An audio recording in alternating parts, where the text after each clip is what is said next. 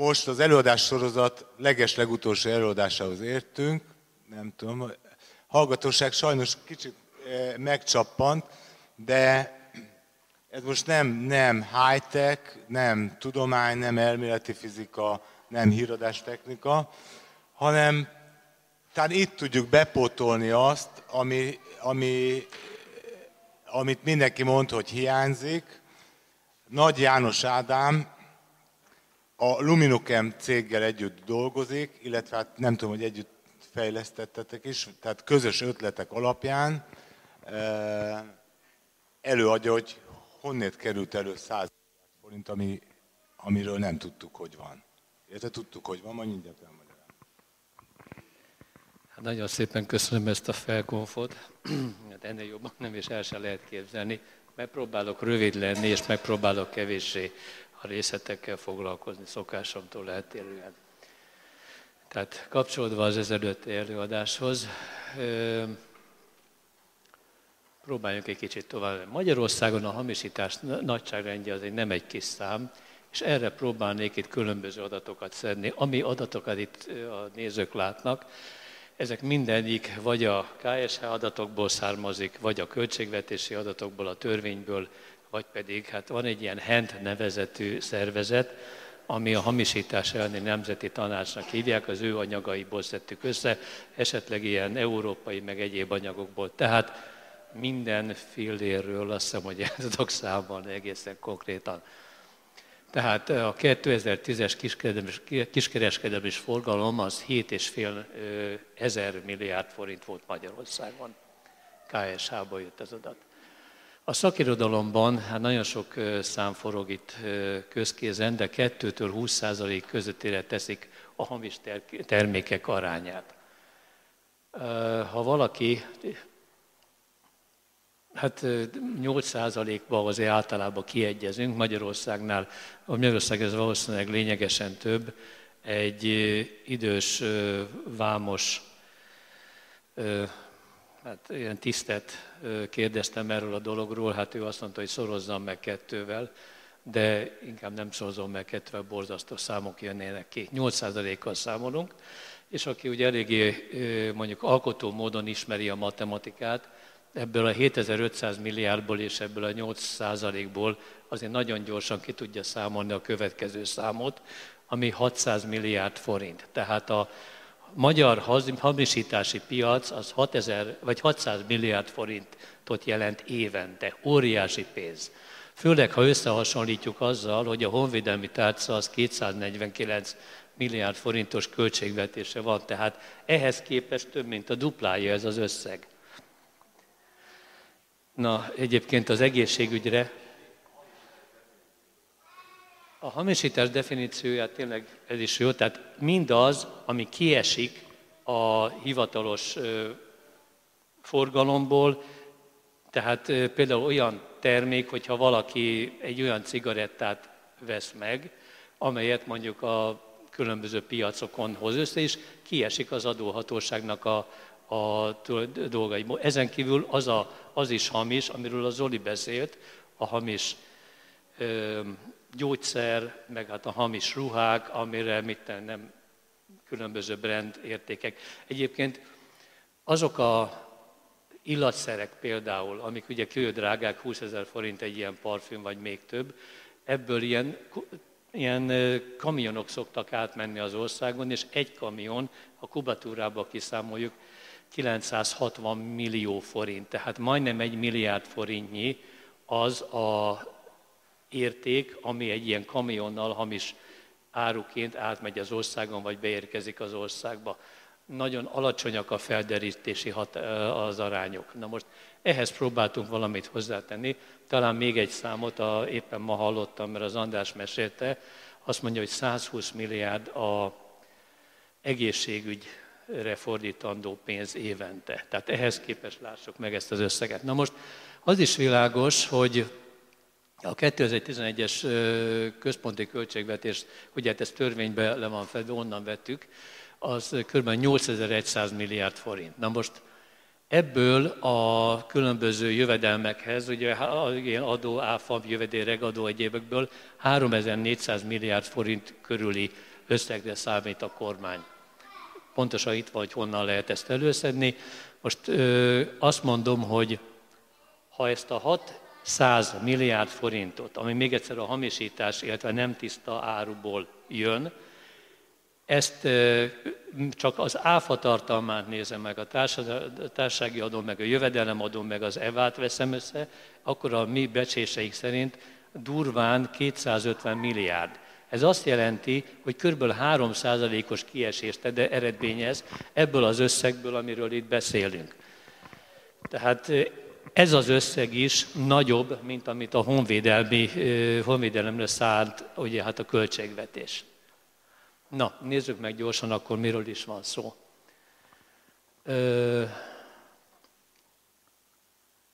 Az alapötlet az végtelenül egyszerű. Minden egyes terméket, ami lejön egy futószalagról és bekerül a kereskedelme, megjelölünk. És ez kap egy bizonyos számot. Olyan számot, ami nem ismétlődik. Egy számsorozatot.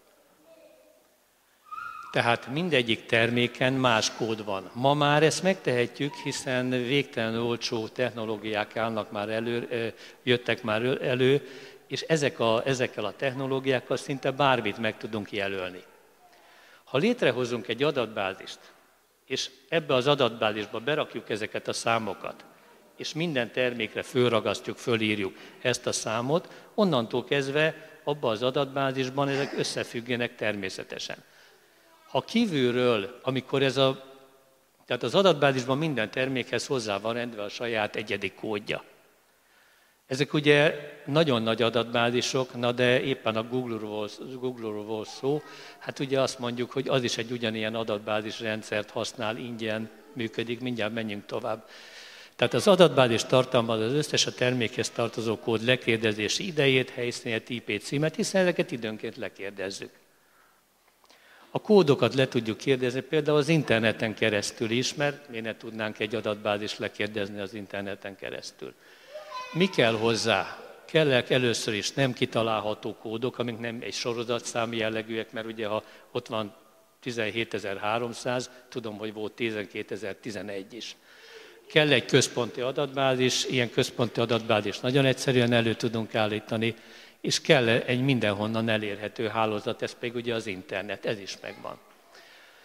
Tehát az árukra fel kell tenni az eltérő kódokat, ez szükséges lekérdező eszköz, amely le tudja az olvasni az áruról jelet, és utána pedig egy innovatív gondolat kell, és jó informatikusok kellnek, hogy ezt minél gyorsabbra össze tudja hozni. Hát még egyszer, mi kell ehhez? Kell egy mindenhonnan elérhető adatbázis, ami gyakorlatilag ingyen, van most már, kell néhány szerver, ez se nagy pénz, kell egy internet elérés, hát ez mindenütt van, akár telefonnak, kell egy olyan eszköz, amivel egy bizonyos kódot le tudunk olvasni, ez például bármi lehet, például lehet egy ilyen leolvasó, amit a közértbe látunk, vagy akárhol, de ezen kívül mindenkinél van mobil, a mobilon van optika, a mobil az eléri ugye az internetet, tehát nagyon egyszerű a megoldás és kell egy megisméhetetlen kódot előállító program, hát ez sem egy nagy technikai vívmány. Tehát, és ma már ez nem probléma. Tehát hogy tudjuk a jelzéseket felvinni az árura, mert általában ez szokott úgy kérdés lenni. Vagy bevisszük egy QR kódba, egyszerűen fölírjuk rá, de vannak ilyen datamátikszok, meg QR kódok, ma már szinte minden árura fel lehet vinni ezt a jelzést. Vagy egy címkéről nyomtatjuk, és azt ráragasztjuk az árura, ilyen már volt, mindenki látott, vagy akár egy lézertechnológiával, hiszen ezek is ma már jól elérhetők és olcsók. Egy, akár az edzett acélra is pillanatokon belül föl tudjuk vinni a kódokat, ezeket a bizonyos kódokat, amelyekben ezeket a speciális szám sorozatokat tartalmazzák. Vannak ilyen ipari nyomtatók, ma már nagyon sokat fejlődtek, ezekkel is nyugodtan föl lehet rakni, de bármire üvegtől. Hát amit láttunk itt az ezelőtti előadásban, az ampullára volt fölvíve az a kis QR kód, ott fönn a Zolinak az előadásába, és ezek a kódok ugye láthatatlan fényben, tehát UV fényben voltak olvashatók, tehát ránézek arra az ampullára, semmit nem látok. UV, kód, UV fényt megvilágítom, ott van a leolvasható kód, és egy ilyen kis telefonnal nyugodtan leolvashatom, és ahhoz az adatbázishoz férek vele hozzá, ami akarok. Hát körülbelül így néz ki, most konkrétan ez egy QR kód, ez az, ami körülbelül 4000 karakter tud tárolni.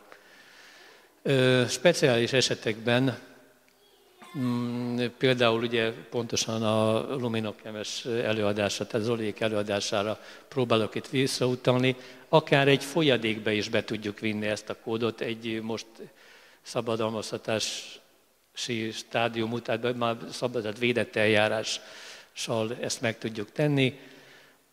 Láthatatlan kódokat is használtunk, amely lehet akár UV-fény, akár IV, infravöröse előjöhető, amiről már itt nagyon sok szó volt, de hát a Luminokemnek az anyagaival 1400 fokig föl tudunk vinni ilyen jelzéseket, láthatatlanul, a porcelánba, amikor a porcelán még nincsen kiégetve, fölvisszük rá, utána bekerül 1400 fokba, utána pedig infravörössel vagy UVC-vel nyugodtan leolvasható kód, és utána előveszem a kis telefont, vagy egy komolyabb eszközt, és avval elolvasom.